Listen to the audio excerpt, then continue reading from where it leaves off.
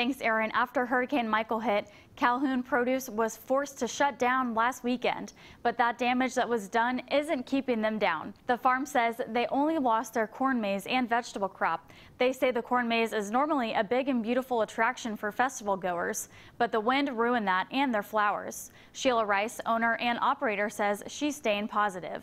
I have a new motto this for this is adapt and overcome. We built a hay maze.